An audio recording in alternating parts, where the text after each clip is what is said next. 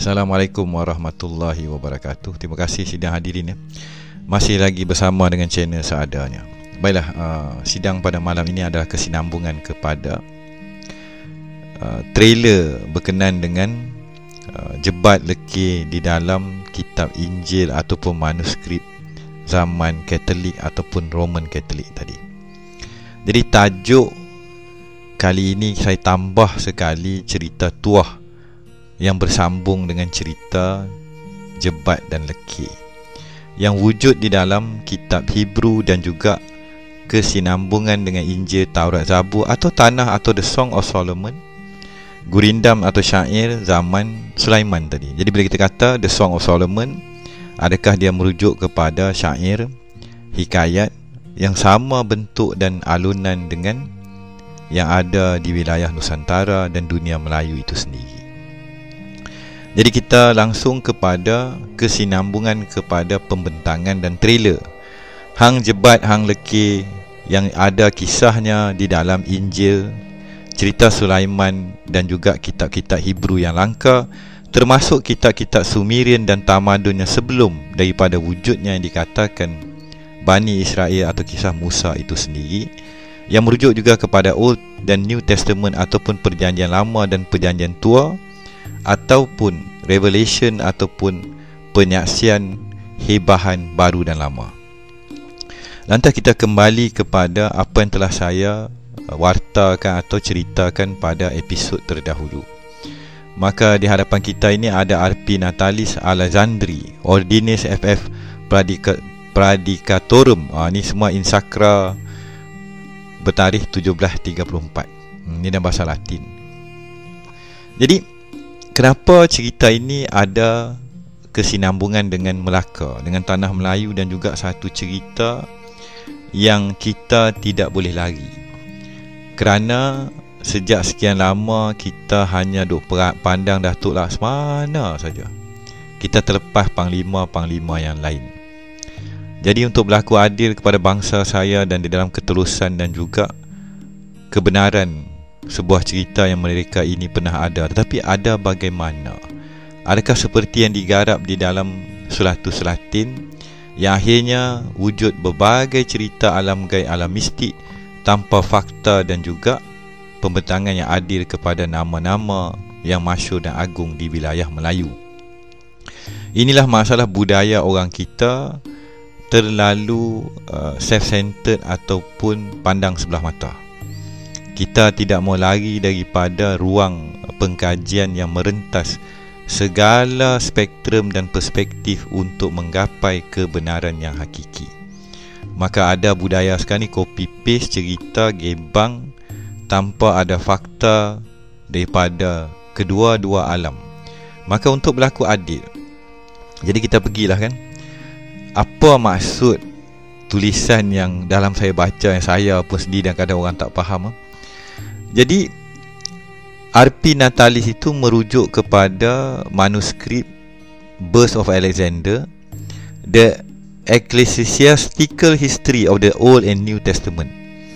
Penyaksian lama dan baru itu sejarah daripada kelahiran yang dikatakan Alexander. Adakah ini merujuk kepada Alexander the Great atau Alexandria? Ni saya buat translasi lah kan? Yang juga merujuk kepada tertubuhnya atau terbinanya sejarah manusia sehinggalah kepada kelahirannya Nabi Isa Al-Masih. To the year after the birth of Christ 1600 the first volume.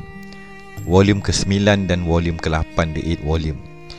Yang merujuk kepada kajian yang berteraskan kepada kurun ke-13 dan ke-14 jadi dizahirkan kajian ini 1734 tapi hanya merujuk kepada kesinambungan 13 dan 14 kita sendiri tahu ketika 13 dan 14 tadi. Hmm. Alhamdulillah. 13 dan 14 tadi adalah zaman kegemilangan Melayu Melaka. Ha, Ini ada beberapa fakta yang lagi daripada timeline mainstream. Lantas kita pergilah kepada kenapa wujud perkataan lekir. Ha, Jadi depan ni kita tengok tu Saya line dah underline merah. Ha. Beginning has word ha, more letters beginning has word dalaki uh, had given to the king and no one else. Jadi saya belum lagi mendedahkan akan kajian terperinci akan pengertian dan juga maksud sebenar perkataan lekir tadi. Adakah lekir itu merujuk kepada nama raja? Adakah tuah, lekir, jebat, lekiu, kasturi adalah nama lima raja yang bersama dengan yang dikatakan Adiputra atau Isa Al-Masih? Aha, ini dah lari langsung daripada rasional dan cerita awam yang kita ada kan. Ha, jadi ni kena keluarkan buku lah kejap lagi kita tak faham bahasa saya cerita lagu ni jadi jadi polemik. Lantas dalam manuskrip yang sama wujudlah nama jebat, ada jebat dan ada lekir. Ha, jadi ni masih lagi dalam bahasa Latin atau Roman atau Romanized. Uh, jadi Greco-Roman punya bahasa. InsyaAllah saya akan translate Saya akan garap, saya akan susun, saya akan padam.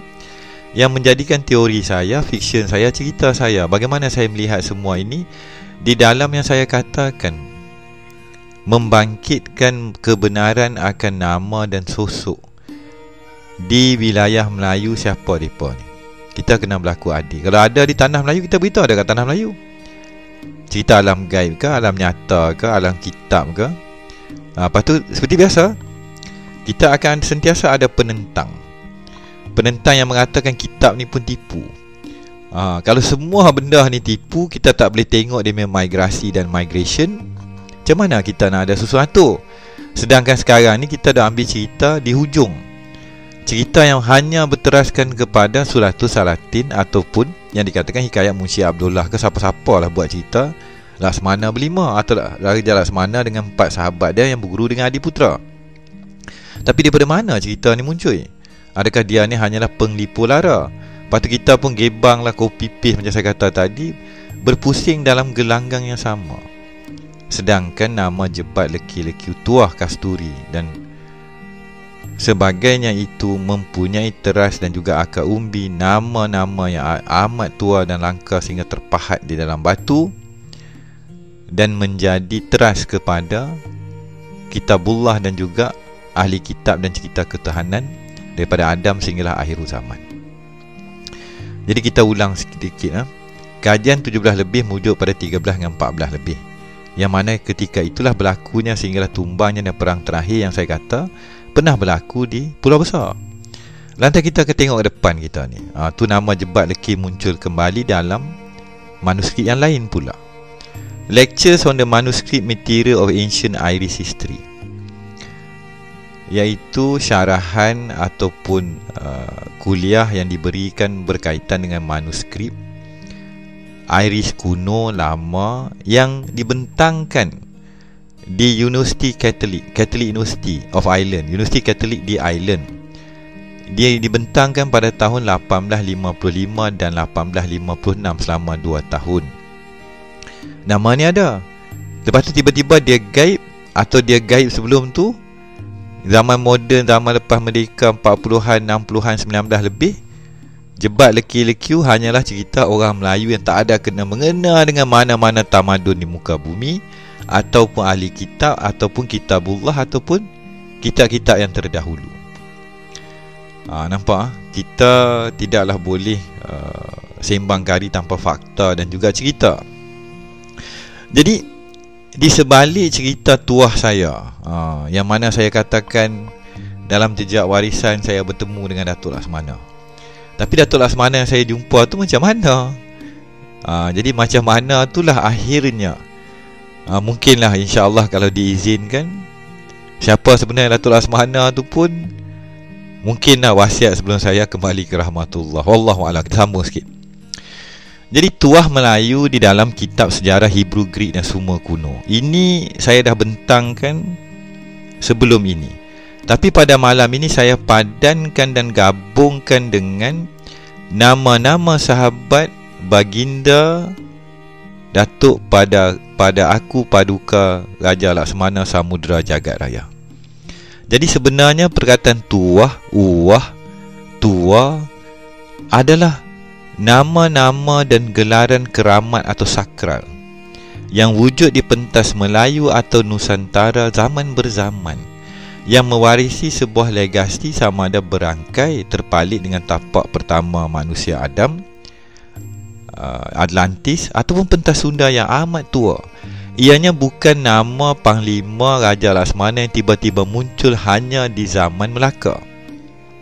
Sehingga kan pada malam ini bagi pengkaji dan yang dikatakan veteran dalam dunia Melayu bila saya sebut Melaka mereka tak faham seperti orang awam tu yang dulu-dulu kita faham Melaka yang hanya ada di selatan tanah air. Ianya meliputi wilayah yang lebih besar. Apa cerita Melaka, apa cerita Kedah Tua, apa cerita Langkah Suka nama-nama yang dikecilkan termasuk termasik itu. Jadi bagi veteran pun dia ada filtration dan kefahaman. Kalau setakat cetak rompak, copy paste dan ulang tayang akhirnya kita akan terperangkap di dalam tempurung kelapa pola pemikiran yang terhad.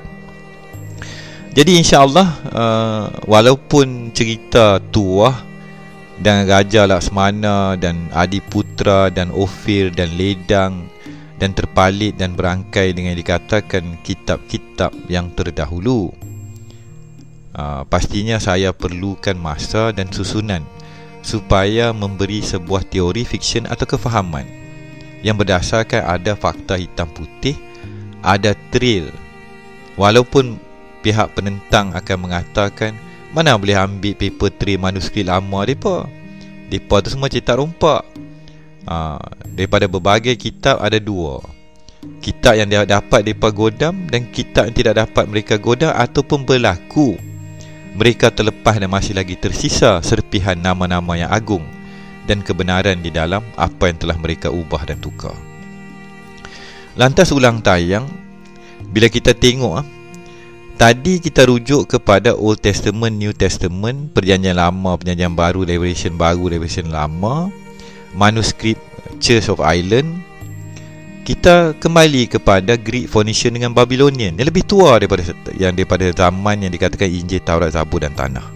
Yang dikatakan sezaman dengan Noah, Nabi Nuh, Nabi Adam ataupun sebelum Adam lagi sebelum manusia yang pertama itu wujud. Maka zuah, tuah dan laut dan samudra jagat raya ini ada padanan dia.